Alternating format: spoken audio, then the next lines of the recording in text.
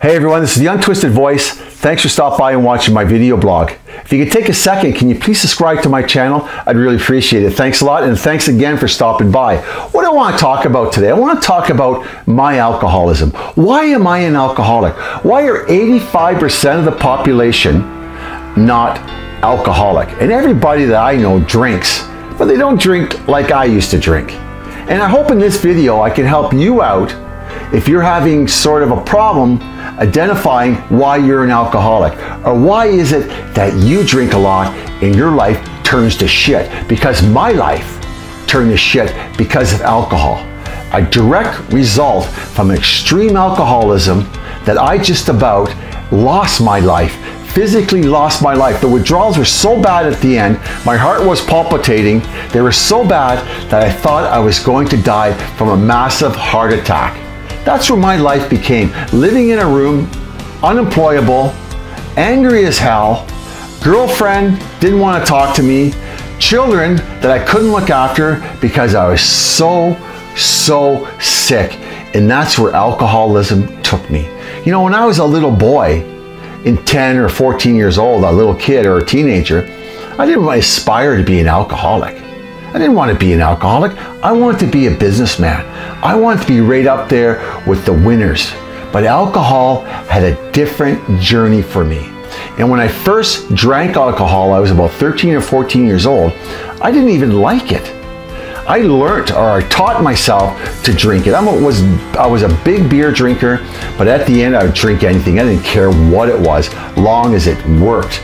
You know, that's where it took me. You know, six beers with six people when I, when I was in my teens turned out to be a 24 three or four times a week when I stopped drinking.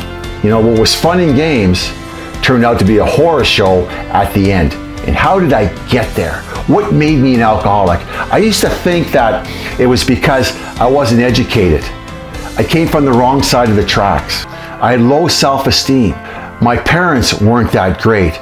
I was abused as a child.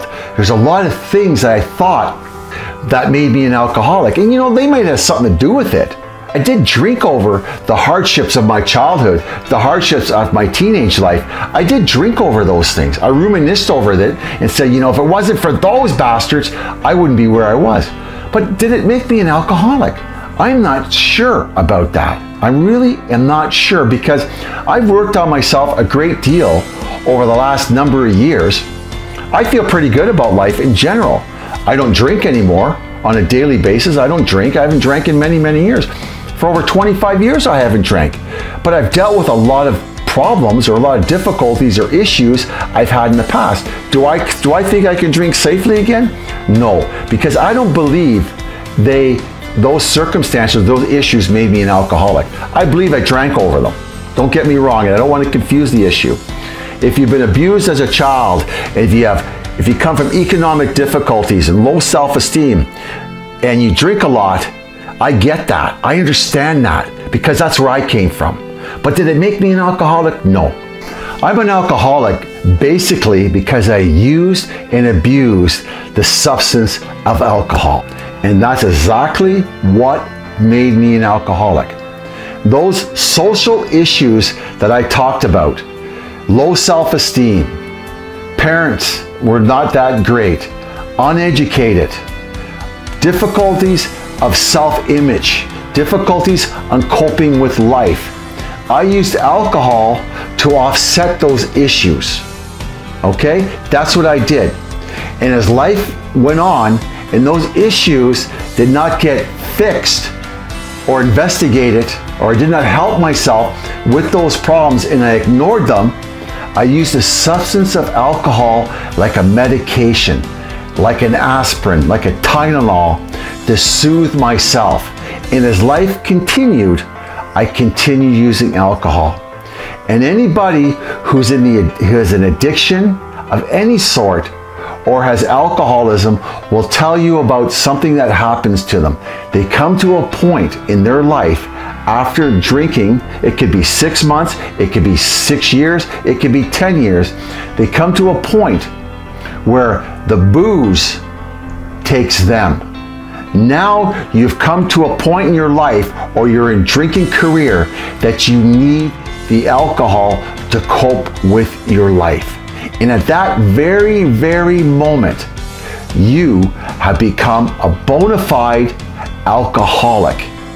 You really, really have. Believe it or not, it's not that scientific. I know this example, but it's very, very true.